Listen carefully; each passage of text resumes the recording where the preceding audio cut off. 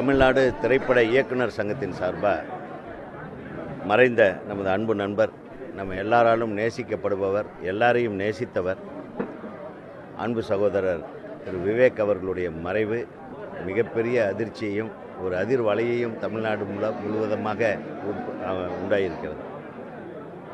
பொதுவாக வந்து அவர் வந்து யாரையும் சார்ந்து வந்தவர் அல்ல ஒரு சுயம்புன்னு சொல்லலாம். தானாகவே வளர்ந்த ஒரு நட்சத்திரம்.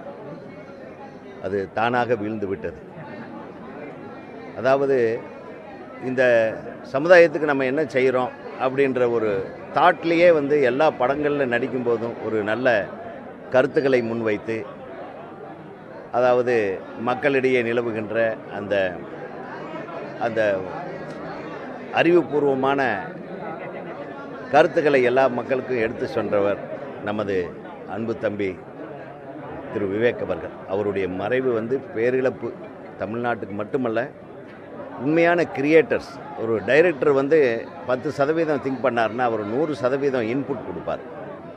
ஸோ அது வந்து மக்களுக்கு பயங்கரமாக ரீச் ஆகும். பட் அவர் வந்து அவர் வளர்த்த மரங்களாகட்டும் செடிகளாகட்டும் அவர் வளர்த்த நண்பர்களாகட்டும் அவருடைய பெயரை எப்பவுமே சொல்லிக் கொண்டிருப்பார்கள். இந்த திரையுலகம் இருக்கும் வரையிலும் அவர் ஒரு சரித்திரம். இந்த திரையுலகத்தில் அவர் சாதித்த சாதனை வந்து ஒரு சரித்திரம். அந்த சரித்திரம் இருந்து கொண்டே இருக்கும். சரித்திரத்தில் அவர் பெயர் மறையாமல் இருக்கும்.